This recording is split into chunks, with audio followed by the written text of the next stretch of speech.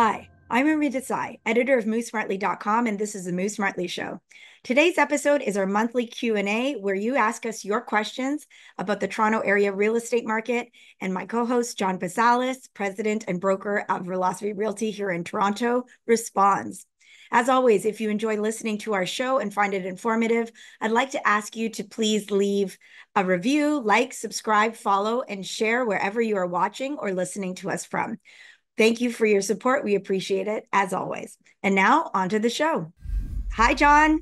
Hello. Are you ready to respond? Ready to go through our questions. I enjoy this segment, as I always say. It's uh, we get these kind of real life situations and and do our best, obviously, to help uh, answer them. And in some cases, just more intellectual questions that we got to think about and um, try to make some sense of for people. So yeah, it's it's always an exciting show. Yes, we get a mix of consumer questions and also what I would call citizen questions, which is, you know, questions about the overall state of Canada's housing situation, the affordability crisis. And so we get a mix of both. Mm-hmm, exactly. segment. So we uh, we definitely try to include um, a lot of consumer ones, uh, mainly because you know people are navigating real situations. And John, are you noticing that because the market's in a strange place, where some segments are fast, others are sluggish, there is a slowdown relative to what Torontonians have been used to for many years. Are you finding a lot more questions about, you know, what we call this situation, complicated situations that need to be navigated? Yeah, absolutely. I mean, again, I think people are used to a very competitive market in Toronto. Things sell quickly. When things aren't selling quickly, everyone's wondering what the heck's going on. Why isn't my condo selling? Why isn't my house selling? Why isn't my neighbor's house selling? Uh, it's been on the market for a month. You know, these are things that people aren't really used to in Toronto. Uh, and yeah, I, we do, do get a lot more questions now, just given how much slower the market is. All right. So let's start with one of those and uh, hear what you have to say. Hi, John. We currently own a house in a nice neighborhood in Toronto. We want to upsize and we were planning to buy our next home and then sell our current one. But we are seeing a lot of homes not selling in our neighborhood or taking a lot longer to sell, or in some cases, taking a lower price than we'd have expected. So, what do you recommend we do? Do we go ahead and buy first, even though there is uncertainty around a sale, or do we sell first, which would then put pressure on us to buy quickly after we sell, or even have to move into a short term rental if we're still looking to buy? Thanks, Willie. That's a great question, and we've get, been getting it far more lately. Uh, again, going back to this idea that the market is much slower than it has been in before, um, which leaves people less confident about the market. So, you know, just to unpack some of the challenges with this and to unpack what people used to do and why that's a little bit trickier now is like usually in Toronto, people would buy the home that they want to move to first as soon as they buy, they just list their home on the market. And usually it sells in a week. Uh, or if it's a condo, it would sell in two or three weeks. You know, but generally homes were moving quickly. Um, so that is the strategy most people would take for that reason, because it's usually tough to find a home to buy. It's kind of competitive. It could take six months or however long, while, while selling was very easy. Now, today, uh, things are very different because the market's slower. Uh, it's a bit easier to buy because there aren't as many bidding wars, but selling is a little trickier. And, you know, and again, I think it's very neighborhood specific. So condos are definitely slower, much slower. Uh, you know, I would not be buying a home and then trying to sell a condo in this market because it's a very tough market to be selling condos in. There's just a ton of inventory.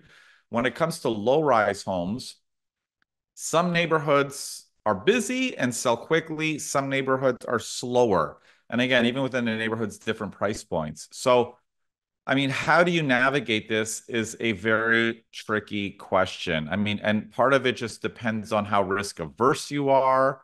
Um, you know, so if you and and where you're looking at buying and where you're looking at selling. So, like I said, in, in some areas, if we have clients who are looking at uh, selling in a neighborhood that is still pretty busy and doing well, you know, some of them might be more comfortable buying and then selling.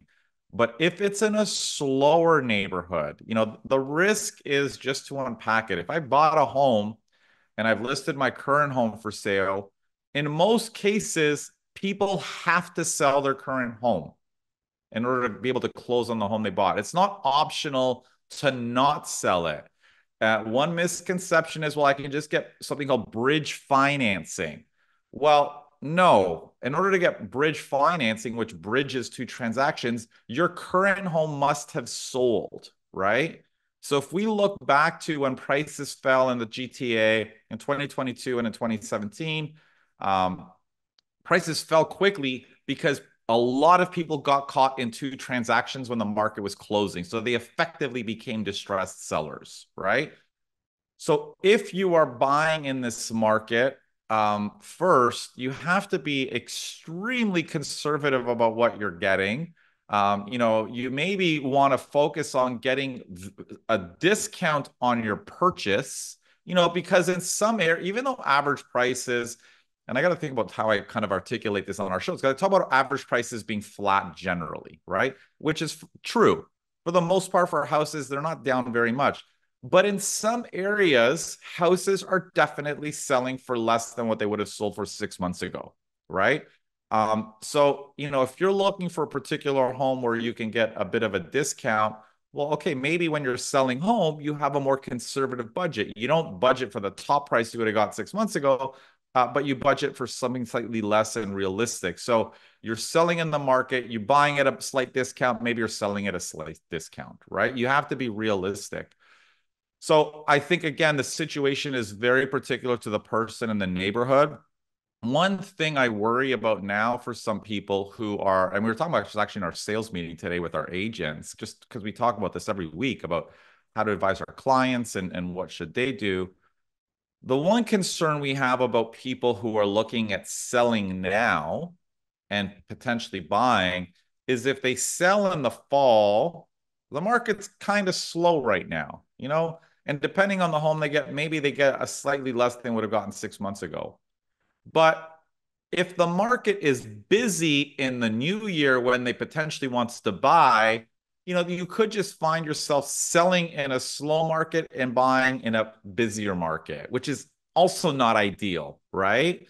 Uh, and I think that's the one tension right now. So if you were to sell now, I would be prepared to buy and take advantage of a slower markets today, right? Like and and you know make sure that I know whatever I want to buy is kind of relatively easy available. It comes up pretty frequently. It's not going to take me nine months because I wouldn't want to be in a position where I'm buying and selling into different markets.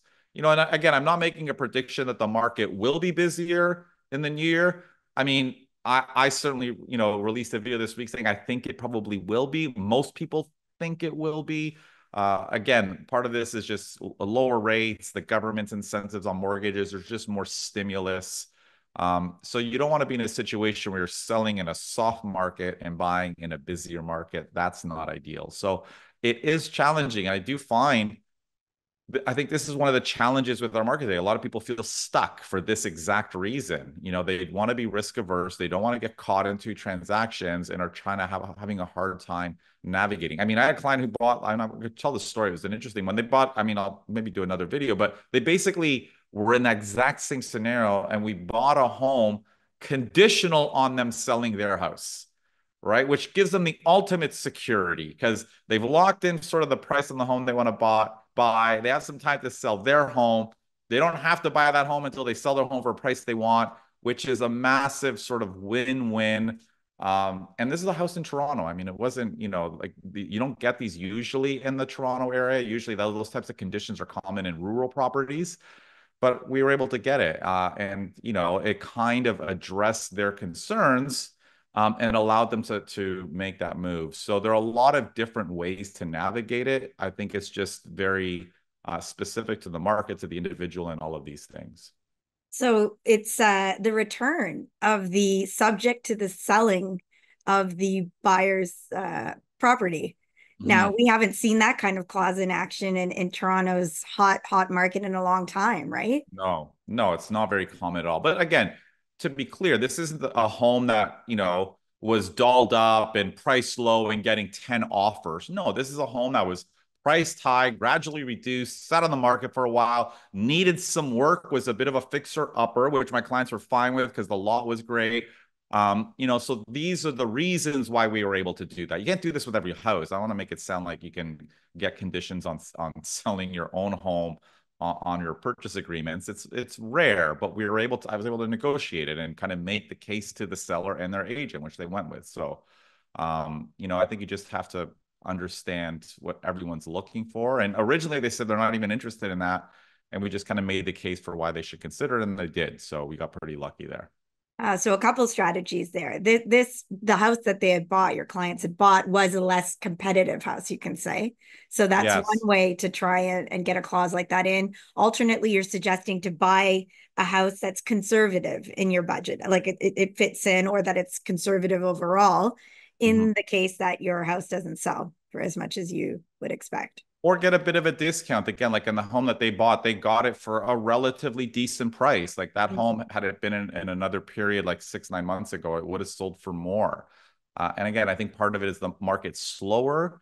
Uh, and i said on other episodes like the market's also slower for homes that are slightly fixer uppers that require money to be improved. Like those ones are selling for a little bit less because there's just not as many people who have the capital to buy a whatever it is, 1.5 or 2 million dollar home and spend money to fix it, mm-hmm. right?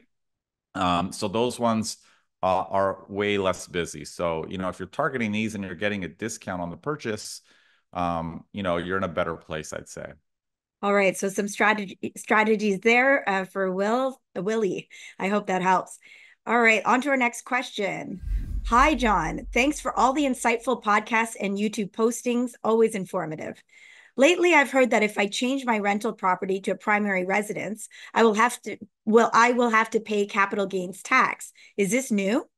The reason I ask is because I'm a Canadian non resident with a rental property in Toronto. I am considering moving back to Toronto when my son goes to university in two years and move into the condo that I'm currently renting out. But if I have to pay capital gains to move into my own condo, wouldn't it be better if I just sell it or keep it a rental and find myself somewhere else to rent. Or, and I think this is the fourth option now, if you're keeping track, John, can mm-hmm. I just say I'm renting it out to my son and I would just continue to file tax on my rental income, even if it would be zero, as he wouldn't be paying me any rent? What would be the tax in- implication on him? Would appreciate your advice on this. Thank you so much, Marnie. Interesting. So this is a, a great question. And so for those for those who aren't familiar with kind of the the root of this question and what they're talking about, I'm just going to kind of read part of the Canadian government's website that specifically deals with this situation. Um, and it's titled Changes in Use of Your Property. And it basically says that when there is a change in use of a property you have, you may be considered to have sold all or part of your property, even though you did not actually sell it.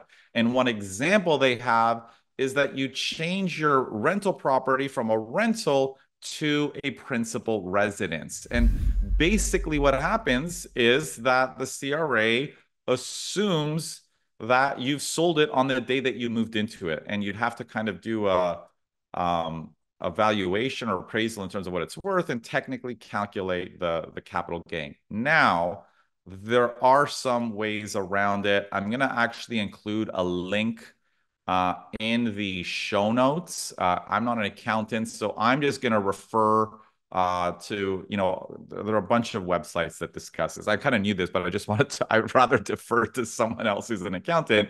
Um, and it basically talks about there are ways around this. And the one key thing is um, something called uh, capital cost allowances. So when people file their taxes every year, a house real estate is an asset that depreciates over time.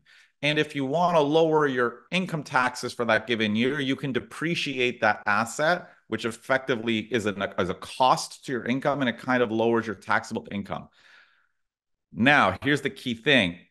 And, and I'm going to quote from uh, this website. I'm going to include a link. And it says, scenario one, if you have no capital cost allowances claimed, meaning you did not depreciate your real estate asset during the time that you've owned it. Uh, and this website, Real Estate Tax Tips, I'm going to include the link. I think the, the person's actually a YouTuber as well. Uh, I'll see if I can include their channel.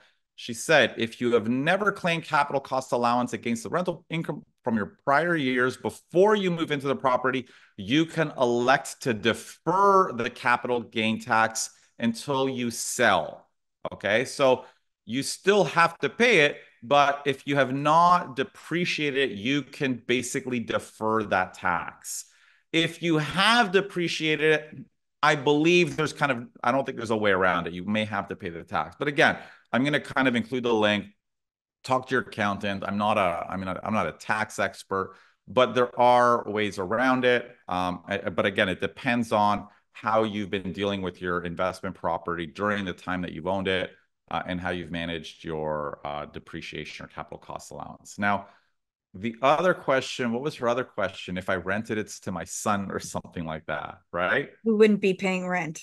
Uh, um, I think the renting it was in quotes. Yeah. Okay. So I, I mean, think we're getting is, into a different territory. Here. Yeah, this is a, a, different question. I mean, if people, if someone wants to, I mean, I, I, it sounds like this person's saying, okay, maybe if they've depreciated their asset and they have to pay the capital gains.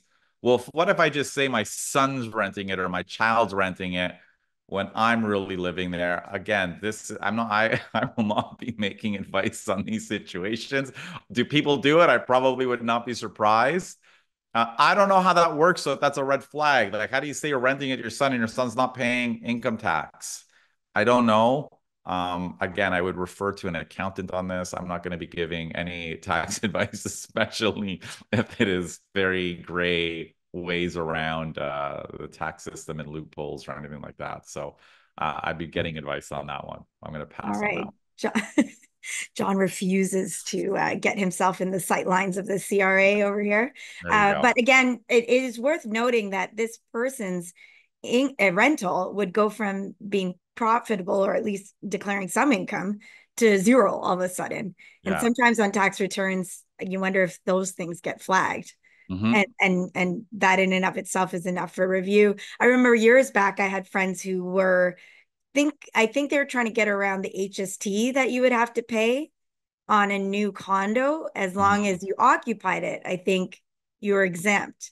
But if you were buying it uh, and you were then going, yeah, or flipping it, uh, so people were trying to sort of say that, you know, they were living in it mm. uh, rather than flipping it or selling it quickly. And then all of a sudden, a lot of people started getting letters all at the same time, even yeah. though this practice had been happening informally for several years.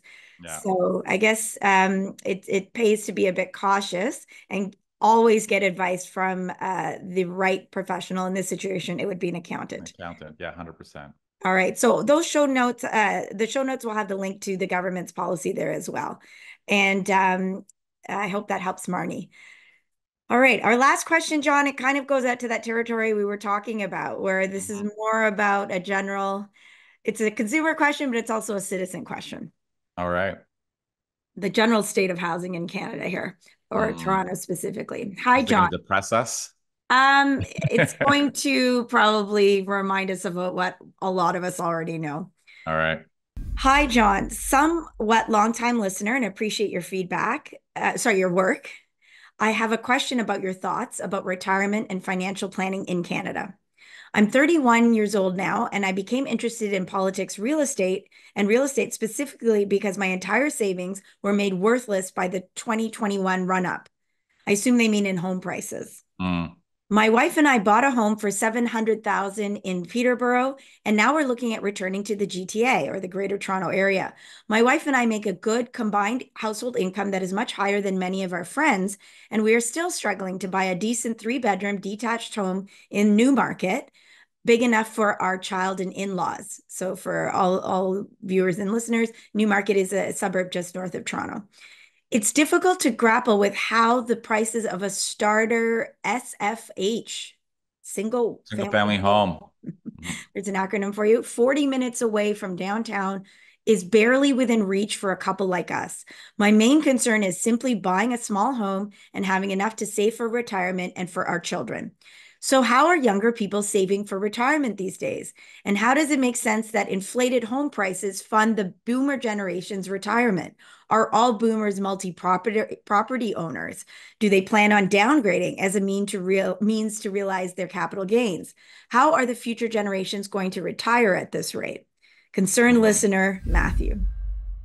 It's a good question.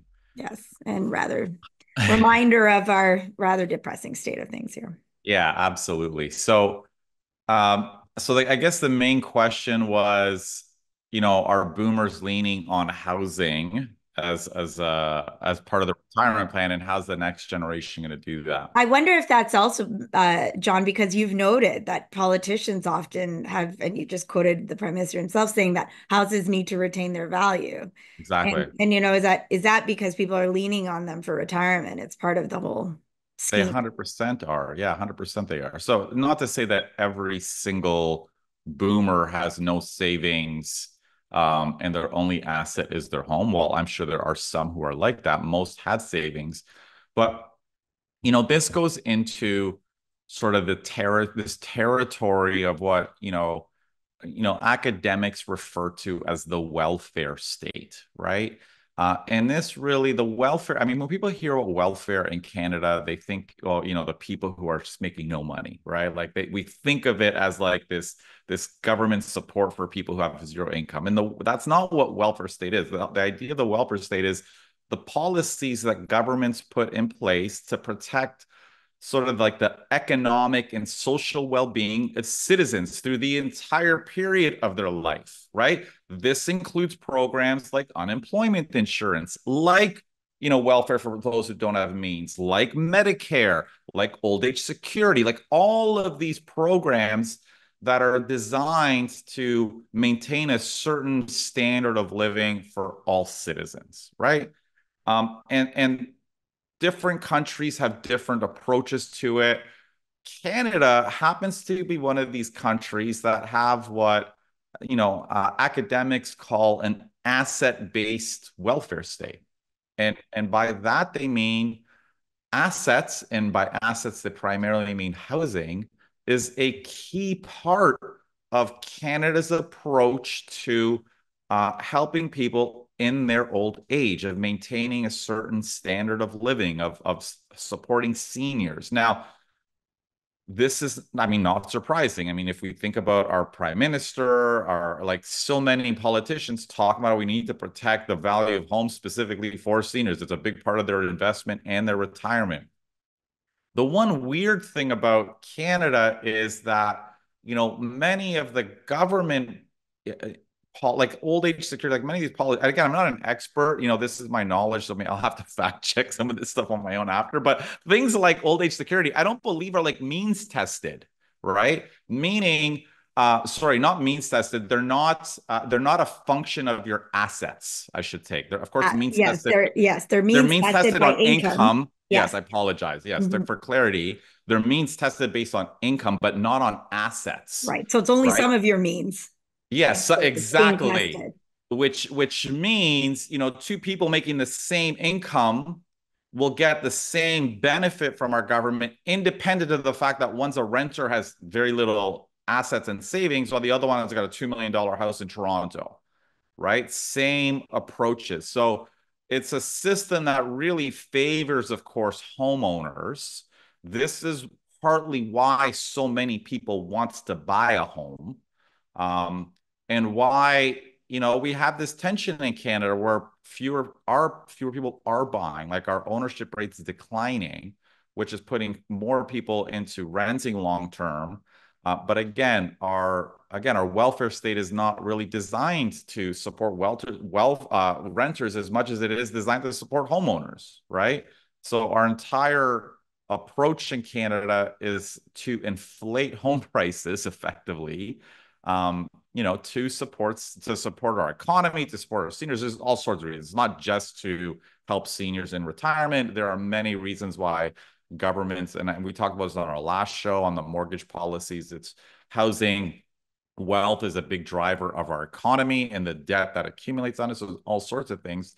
But again, it's also a big source of savings. Many boomers don't have mortgages. You know, they're not going out and leveraging and you know buying pre-construction condos and all of that stuff. They have in many cases zero debt and yes, many of them will be selling their, you know, if they live in Toronto, $2 million homes or million dollar homes um, and using that equity. I mean, I, I was in a house the other day and like the owner bought it in 1960 for $16,000, right? And this is in a relatively affordable ish pocket in Toronto, and the home's probably worth close to a million today, right?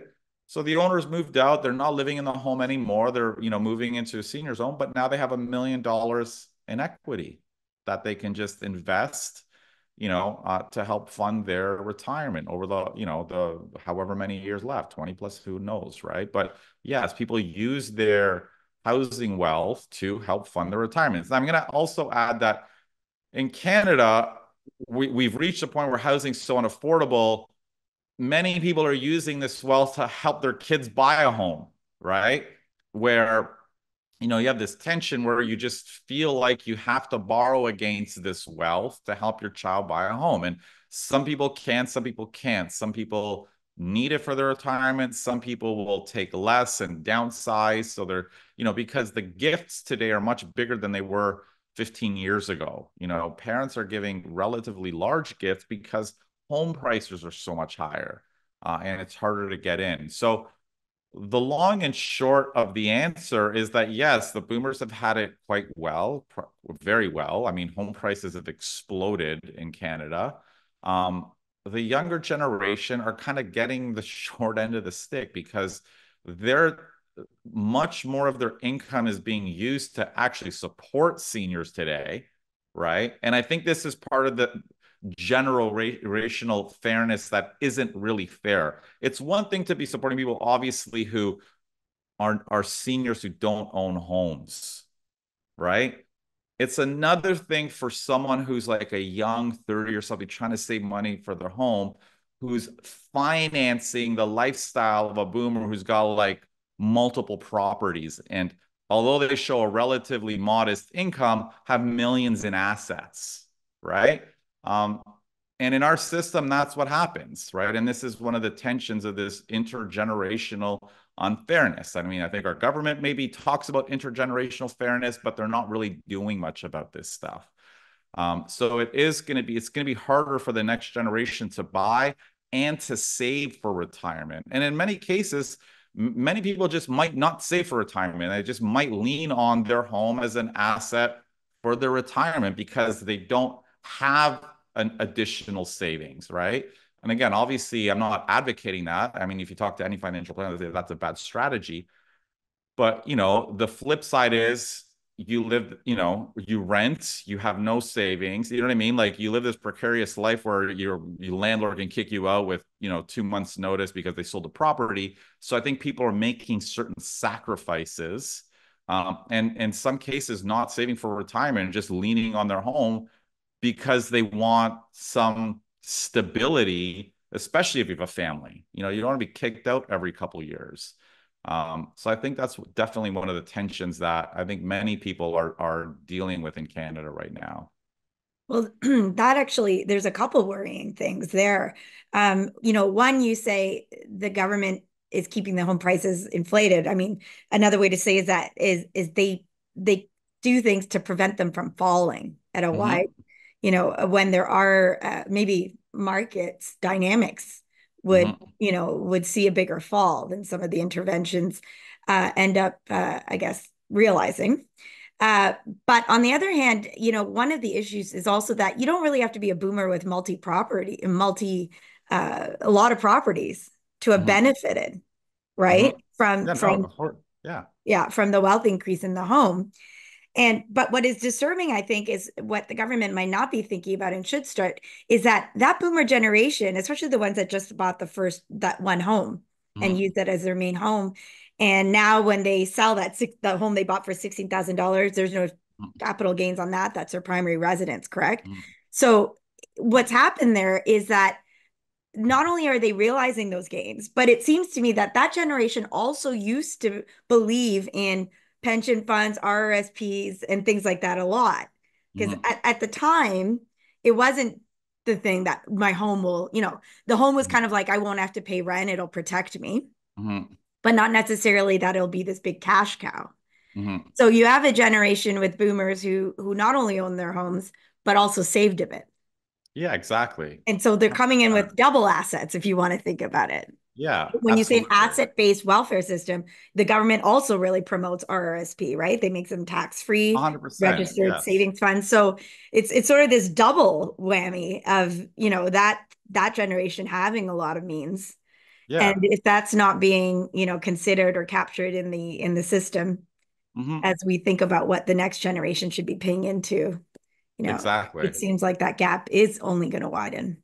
Yeah, exactly, 100%. And and listen, it's there's a tension. Like I'm not like obviously governments need to do what they can to support seniors. I think the one again like I said the one thing that's missing is integrating assets with incomes to figure out the total wealth and figuring out yes what they need to do versus how much can a uh, you know an individual or couple who are in their you know seniors who have a 2 million dollar home what can they you know manage and maintain on their own? I mean even if you sell that in rent you're getting a lot of income from $2 million investment right? So and i think that's one of the challenges for you know younger generations who are trying to get into the market. Um you know they're not going to be in the same position probably. So matthew i'm not going to suggest that that answer would help you but maybe it helps to know that you are not alone in wondering about these things and feeling very concerned uh, about this picture yeah, it's definitely tough. Yeah. Yeah. So I guess stay tuned to our channel. We're going to continue to dig into these larger policy issues that are affecting uh, the overall housing market and, and the way that Canada is quite frankly structured. And um, I guess if we share enough information and ideas, maybe we can start to challenge some of the politicians to, you know, start showing us how they plan to manage this. Seems like they're kicking a ball down the road. They are. I mean, and, and one, I think one organization person writes about this a lot is, uh, oh God, what's his name? I think Paul Kershaw from Generation Squeeze. He mm-hmm. talks a lot about these types of dynamics and this relationship between not just housing, but, um, you know, support for senior, like the difference between the supports for seniors versus the supports for you know younger millennials for example and these these disparities and the challenges and these intergenerational inequalities and unfairness and all of these things he talks a fair bit about that so definitely worth kind of reading some of his stuff either in the globe or on their website i'd say. All right so we'll put that link into the show notes as well. Thank you so much uh, to all of you for your great questions. Keep them coming. And uh, you can send in your questions at askjohn at movesmartly.com you can follow John on uh, X Twitter at ask uh, ask at. John Pasalis, and you can follow the show at Move Smartly. So uh, we hope to keep hearing from you. Thank you for all of you uh, that are listening and watching, and we will uh, see you next week with our next show episode. And uh, we'll see you then. Take up the take up mm-hmm. the issues then. Thanks, everyone.